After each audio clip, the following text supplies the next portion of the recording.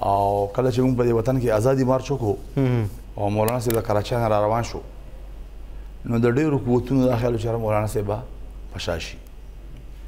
او کېدای شي هغه د خپل خبره واپس والي خو الحمدلله الحمدلله تاسو به کتلی وي چې مولانا صاحب د یو ډېر لوی قافلې سره د کراچۍ نه روان شو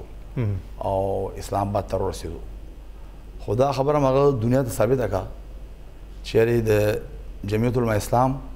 چې کوم دی ورته طالبان وایي د جمعیت علماء اسلام هغه کارکنان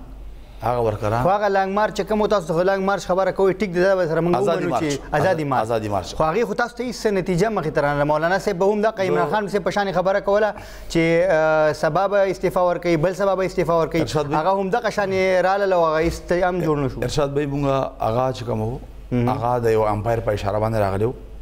او مولانا صاحب د امپایر په اشاره راغلی عمران خان د تخیب جی هغه سره هغه د امپایر په تمه چې امپایر بوز غوته وته او چې د کی سړی او شو اوس بغوته او چې د کی سړی او شو خو ایسه بنو شو تقریبا درې درې مسلور میاشتې د کوم ځای کې او عقوبت چې کوم دی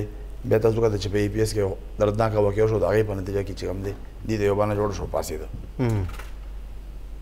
نو جمعیت علماء اسلام چې کومه کامیابی په دغه ازادي مارچ کې حاصله کړې ده نن تاسو وګورئ چې د پاکستان ټول جمهوریي قوتونه نن هغه راغون شوی دی مولانا صاحب خپل مشر جوړ کړی دی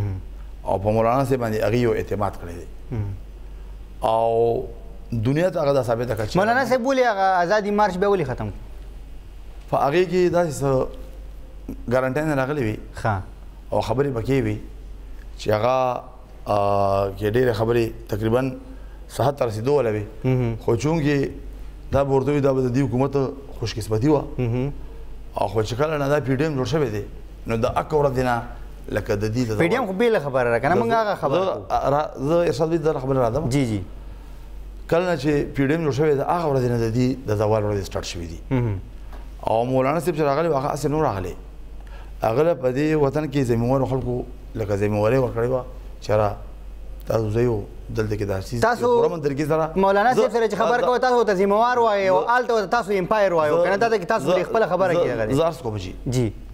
زارس کوم بیا چې دا غزه نه واپس راو نو بیا چې کوم خبري لکه با میډیا په حواله سره کې دی یا به دا یو ټاک شو په حواله سره کې دی صحیح تاسو وکړه جی نو د ټولو خلکو رجحان به چې کوم هغه په هغه طرف او دا واحد مولانا صاحب چې هغه را پاسې دو او هغه د دې حکومت خلاف یو تحریک شروع کو